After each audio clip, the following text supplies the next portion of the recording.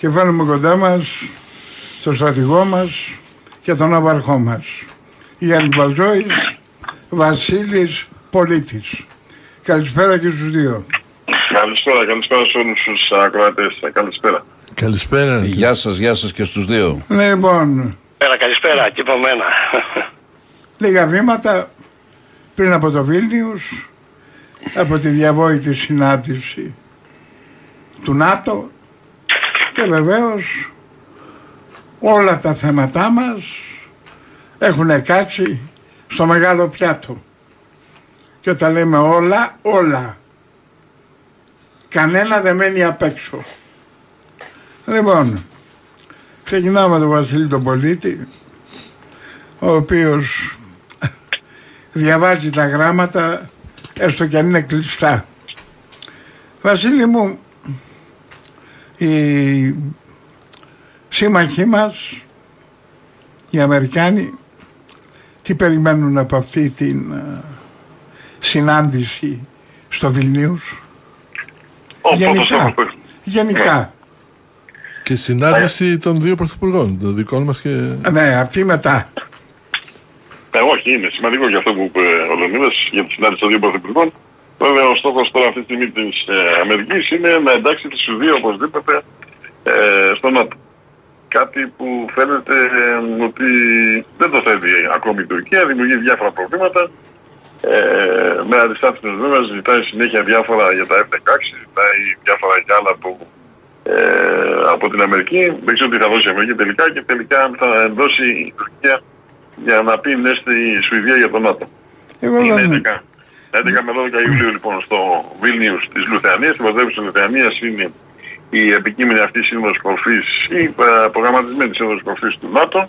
Πρέπει να πούμε όμως στους ακροατές ότι για να επιληθούν αυτά τα προβλήματα οι Αμερικανοί έχουν ε, την πέμπτη, μα- πέμπτη που μας έρχεται στις 12 η ώρα στο στρατηγείο του ΝΑΤΟ στις Βρυξέλλες ε, έχει μια συνέντευξη ο Χακάν Φιντάν, ο Υπουργός Εξωτερικών της Τουρκίας, με τον αντίστοιχο Υπουργό Εξωτερικών της Σουηδίας, παρουσία του Γενικού Γραμματέα του ΝΑΤΟ, του κ. Στόλερμπεργκ, ε, και από διάφορους αντιπροσώπους από τις μυστικές υπηρεσίες από τις δύο χώρες, έστει έτσι ώστε να βρεθεί μια σολομόντια λύση και τελικά η Αμερική να, αυτό που επιδιώκει να την ένταξη της Σουηδίας στο ΝΑΤΟ να το καταφέρει στις 11 και 12 Ιουλίου.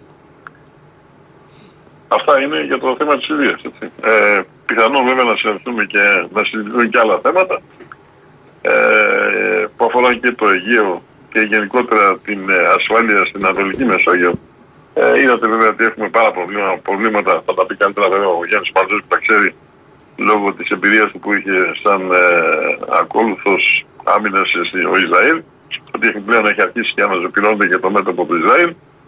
Γενικά υπάρχει μια ανακατοσούρα και σε όλη την Ευρώπη. Στα τελευταίες ρακέ που είχαμε και στη Γαλλία. Η, η Ουκρανία, το μέτωπο της Ουκρανίας με, τη Δύση- με την ε, Ρωσία δεν βλέπετε να, ε, να βρίσκεται κάποια λύση. Το είχαμε πει και πάλι σε παλιότερες εκπομπές ότι είναι ένα μέτωπο που άνοιξε και δύσκολα θα σταματήσει. Και πολύ φοβάμαι βέβαια ότι ε, προ- η πρόθεση του κ. Στόλτενμπεργκ, το οποίο πρέπει να πούμε ότι ο κ. Στόλτενμπεργκ ξαναπήρε πάλι μια παράταση για ένα χρόνο σαν Γενικός Γραμματέας, είναι ίσως ο μακροβιότερος Γενικός Γραμματέας του ΝΑΤΟ. Ε, αν αναλογιστούμε ότι έχει αναλάβει τα καθήκοντά του από τον Οκτώβριο του 2014, πάμε δηλαδή ε, περίπου 10 χρόνια με είναι ο Γενικός Γραμματέας πλέον.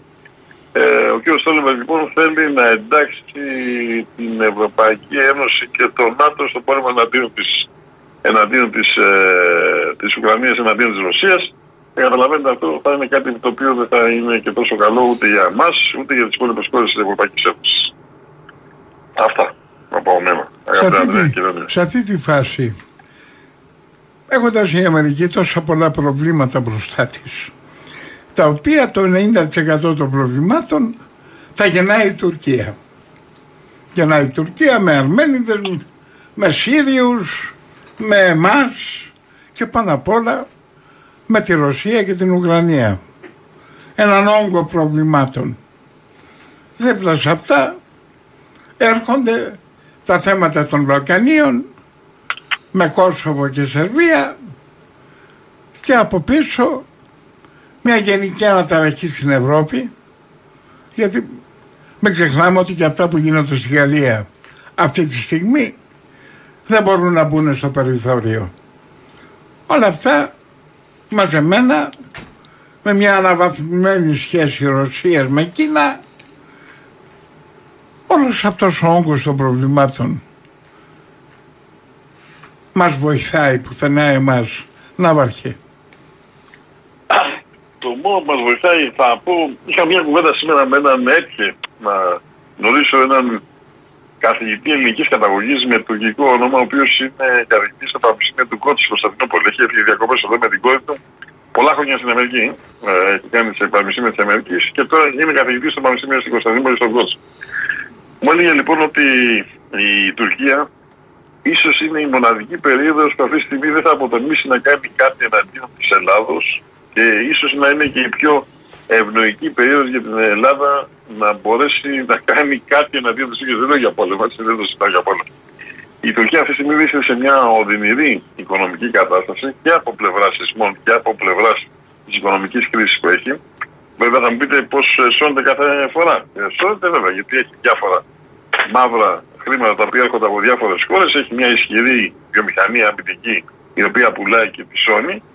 Αλλά αυτή τη στιγμή υπάρχει μια τρομερή ένταση μέσα και στην Τουρκία και δεν νομίζω ότι βλέπετε ότι έχει ηρεμήσει όσον αφορά το Αιγαίο. Βέβαια, ε, μπορεί να έχει ηρεμήσει εκείνη, αλλά εμείς ε, δεν έχουμε αρχίσει να έχουμε κάποιες απαιτήσεις να μπορούμε να σταθούμε ε, ισότιμα πάνω σε ένα τραπέζι, αν ποτέ ζητηθεί από, από εμάς να πάμε σε ένα τραπέζι να, σε τίποτα διαπραγματεύσει. Που πολύ φοβάμαι ότι θα γίνει αυτό. Ε, με φόβησε μια δήλωση σήμερα που έκανε ο κ. Γεραπετήτη, ο Υπουργό Εξωτερικών της Ελλάδος, που επισκέφθηκε την Κύπρο. Μη με ρεθίζεις, Ναύαρχε, γιατί συγκρατιέμαι να, να, να, να, μην αρχίζω να στέλνω κεραυνούς.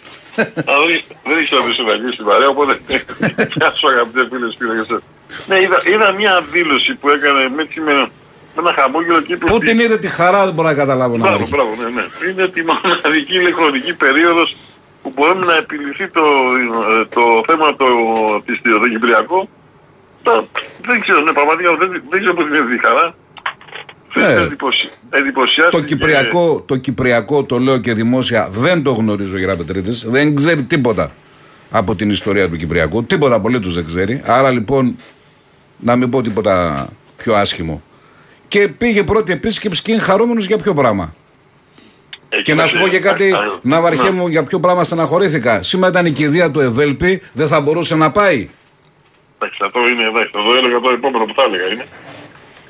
Ε, όχι μόνο αυτό. Ε, ότι δεν είναι μόνο για την κηδεία του Ευέλπη, είναι ότι ε, όπως είπες εσύ, ένας άνθρωπος που δεν ξέρει το Κυπριακό. Δεν το ξέρει. Ναι, ναι. Ήταν, βέβαια, πρέπει να πούμε ότι εθνικά η πρώτη ε, επίσκεψη του κάθε Υπουργού Εξωτερικών είναι στην Κύπρο. Στην Κύπρο. Λογικό είναι. Και λογικό κάνει. Αν είμαστε και συγκρατημένοι όμως. Μπράβο, μπράβο. Αυτό θα σου πω.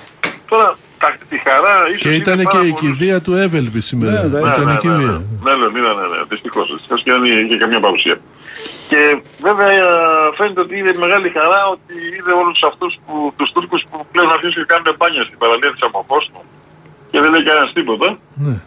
Ε, δεν ξέρω, δεν, δεν, ειλικρινά, γι' αυτό σε είπα και εγώ ότι με, μου δημιούργησε κάποια, μου κάποια εντύπωση, ίσως να ξέρει κάτι παραπάνω από μένα αγαπητέ φίλε Σπύρο και από σένα αγαπητέ φίλε Σπύρο και τον Τίνα Γιάννα και να επιληθεί το Κυπριακό πολύ φοβάμαι δεν θα επιληθεί ε, με αυτό που θέλ, όπως θέλουμε εγώ, εσύ, ο Αντρέας, ο Κωτίνας, ο Γιάννης και ο, ο, ο φίλος ο Σπύρος. Το ξέρει καλύτερα από όλους το Κυπριακό. Ε, τώρα όλα αυτά τα θέματα, το τι γίνεται στο Αιγαίο, τι θα γίνει στο Αιγαίο, πάλι έχω μερικές αφιβολίες ότι θα γίνει. Βέβαια έχουμε ηρεμήσει εκεί λόγω ε, ίσως και των, ε, των τουρκικών διακοπών γιατί έχουν κατακρίσει τα νησιά πρέπει να πούμε οι Τούρκοι, παρόλο ότι δεν πάει καλά ο τουρισμός, παρόλο ότι λένε διάφοροι ότι ο τουρισμός πάει πολύ καλά και τα λοιπά. Σου λέω λοιπόν επειδή ασχολούμαι με το θέμα του θαλάσσιου τουρισμού, ότι ο τουρισμός είναι 30% κάτω. Η Τουρκία όμως επισκέπτεται τα νησιά, ε, χαλάει λεφτά. Να πούμε ότι χαλάει λεφτά. Ε, βέβαια οι Τούρκοι αυτοί οι οποίοι έχουν τα λεφτά, γιατί υπάρχουν άνθρωποι που δεν έχουν να βάλουν ούτε Κρεμίδης Κατσαρόλατος που λέει. Και έχουν αρχίσει βέβαια και αναταραχές, θα είδατε ότι άρχισε πλέον ο Ιμπάμπολου να αμφισβητεί τον Κυριτζάρογλου. Υπάρχει μια γενική αναταραχή σε όλη την περιοχή. Τώρα δεν ξέρω πόσο θα επηρεάσει όλα αυτά τα κύματα Κόσοβο και Αλβανία που υπάρχει πρόβλημα, Σερβίες, ε, Ισραήλ, Γαλλία, για τη Γαλλία είναι ανησυχητικό πολύ. Έχοντας ζήσει και έχει ζήσει αγαπητέ φίλε Σπύρο τη Γαλλία, ε, η Γαλλία όταν εκραγεί δεν είναι δύσκολο να τη μαζέψει. Όταν βγει από το καζάνι ο βαθμό είναι δύσκολο να το μαζέψεις. Γνωρίζει Ναύαρχη καλύτερα από μένα ότι είναι η μεγαλύτερη σε ισχύ στρατιωτική δύναμη στην Ευρώπη. Ναι, και είδες ότι χάθηκε το παιχνίδι πάρα πολύ άσχημα. Και μην ξεχνάς ότι η κατάσταση που υπάρχει με τους αλλοδαπούς που τους δεχόντουσαν τόσο καιρό οι Γάλλοι. Ε, γιατί τους τους φέρναν από την Αλγερία, το Μαρόκο, τους κάναν τις δουλειέ τους, του είχαν σε δεύτερε εργασίε. Ε, η ίδια κατάσταση υπάρχει στις Βρυξέλλες, υπάρχει στην Ολλανδία. Ε, Εχθές γύρισα πέρα ταξίδι μου στη Φραγκούρτη και φοβήθηκα. Ειλικρινά σα μιλάω, φοβήθηκα.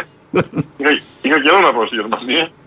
Και ενώ πάντα έλεγα πώς έχει καθίσει στο κέντρο της Αθήνας, πήγα στο κέντρο της Φραγκούρτη, αγαπητοί φίλοι μου, και φοβήθηκα πραγματικά. Πραγματικά φοβήθηκα.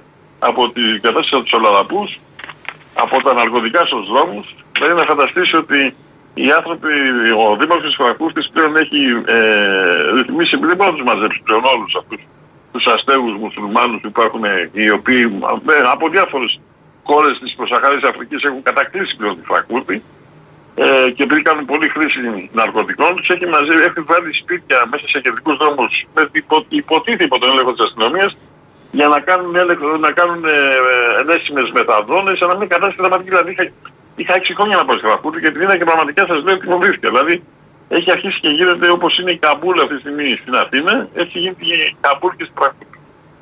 Άρα λοιπόν βλέπω ότι έχουμε μια εισβολή των ας το πούμε κακών μουσουλμάνων, υπάρχουν και άλλοι μουσουλμάνοι, οι οποίοι είναι άνεργοι, ε, πεινάνε, κάνουν χρήση ναρκωτικών, κάνουν χρήση βίας και έχουν κατακλύσει πλέον την Ευρώπη. Μια βίζηση έχουν κάνει σε όλη την Ευρώπη.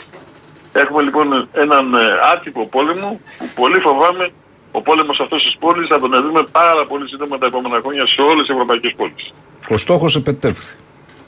Ο στόχος επετέφθη. Όχι ακόμα. Όχι ακόμα. Μια πάρα πολύ ωραία ερώτηση είχε κάνει, αν δεν κάνω λάθος, ο, ο Νατσιός, ο οποίος γυρνάει και λέει τι θα συμβεί εάν πάψουν οι ΜΚΟ να τους ταΐζουν. Τι θα γίνει; Τότε θα γίνει η έκρηξη. Γιατί κάποια στιγμή η ΜΚΟ που είναι κομμάτι της εργαλειοποίησης, θα κάνει την κίνηση να κλείσει τρόφικα για να την αχτεί το καζάνι στον αέρα. Ακριβώς. Μια πάρα πολύ απλή ερώτηση. Και από πουθενά δεν πήρε καμία απάντηση. Τι θα γίνει όταν ε, ένα εκατομμύριο ανθρώπους που ταΐζει σήμερα φανερά ή μυστικά γυρίσει και τους πεις δεν υπάρχει μία. Τι θα κάνουν αυτοί; Έκρηξη. Ένα πάρα πολύ απλό, μια πάρα πολύ απλή ερώτηση. Είναι λογική ερώτηση, γιατί κάπως έτσι θα κινηθούν. Για να, δείχνει, για να φαίνεται και φυσικό. Για να φαίνεται, για να φαίνεται και φυσικό, Αντρέα. Να φαίνεται και φυσικό. Α, ναι. Να έχει μια φυσικότητα η εξέγερση. Ότι πείνα, Μπράβο. δεν έχουν δουλειά κτλ. Και, και, και δεν είναι. Δουλειά, ενώ στο άλλο δεν είναι. Και δεν έχουμε να τους ταΐσουμε. Η χώρα είναι ανίκανη, δεν έχει πάρει τα μέτρα της. Ξαφνικά οι σπιτιονοικοκύριδε θα ζητήσουν τα ενοικιά τους, οι ηλεκτρικές εταιρείες την πυρομή, τα γκάδια. Και το φαγητό. Χτες ακούστηκε στη Γαλλία το εξής, το είπαμε και με τον Δημοσθένη. Πήγανε σε περιοχές και διώχνανε τους Γάλλους και τους λένε εδώ δεν είναι δικό σας μέρος. Θα πηγαίνεις δηλαδή στην Κυψέλη θα σου εδώ δεν είναι δικό σου μέρος. Όχι βέβαια. Εδώ δεν είναι δικό σου μέρος. Και σε αυτές τις περιπτώσεις δεν ξέρω αν θα, αν θα τάχει τα κουράγια ο Ψήριζα, ο Τσίριζα και ο Ξύριζα να σταθεί δίπλα τους. Γιατί εδώ μιλάμε για πείνα. Αν σας άρεσε το βίντεο, πατήστε like και εγγραφή στο κανάλι. Για να λαμβάνετε πρώτη τις ειδοποιήσεις για νέα βίντεο, πατήστε και το καμπανάκι. Σας ευχαριστούμε θερμός για την υποστήριξη.